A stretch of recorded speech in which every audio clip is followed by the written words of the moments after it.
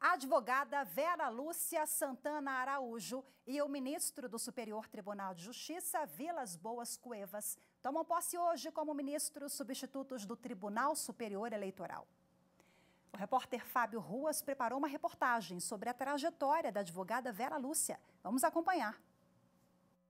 Vera Lúcia Santana Araújo nasceu em Livramento de Nossa Senhora, na Bahia. Aos 18 anos, se mudou para Brasília, onde se formou em Direito pelo Uniceub. Em seus mais de 30 anos de atuação, já exerceu cargos no Conselho Penitenciário do Distrito Federal e na Comissão Nacional de Direitos Humanos da Ordem dos Advogados do Brasil. Vera Lúcia é uma das fundadoras da Frente de Mulheres Negras do Distrito Federal. Aos 63 anos, a advogada ocupa a vaga deixada pela ministra substituta Maria Cláudia Buchianeri, que concluiu seu mandato no TSE em agosto de 2023. Vera Lúcia foi nomeada para o TSE no último dia 23 de dezembro pelo presidente Luiz Inácio Lula da Silva.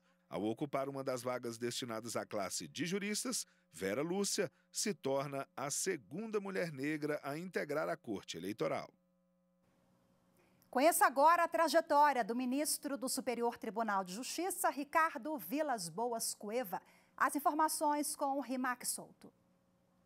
Ricardo Vilas Boas Cueva tem 61 anos e nasceu em São Paulo. Se graduou em Direito pela Universidade de São Paulo. Fez mestrado em Direito Tributário na Universidade de Harvard, nos Estados Unidos, e doutorado em Direito Tributário e Ambiental na Alemanha. No início da carreira profissional, foi procurador do Estado de São Paulo. Posteriormente, integrou a Procuradoria da Fazenda Nacional. Vilas Boas Cueva foi conselheiro e presidente substituto do Conselho Administrativo de Defesa Econômica, o CAD, e vice-presidente do Conselho Federal Gestor do Fundo Nacional de Defesa dos Direitos Difusos. Em 2011, assumiu o cargo cargo de ministro do STJ. Em 2022, presidiu a comissão de juristas responsável por auxiliar a regulamentação de inteligência artificial no Brasil. Vilas Boas Cueva passa a ocupar a vaga deixada pela ministra Isabel Galotti, que assumiu o cargo de titular. O Tribunal Superior Eleitoral é composto por três ministros do Supremo Tribunal Federal, dois representantes do Superior Tribunal de Justiça e dois ministros provenientes da advocacia.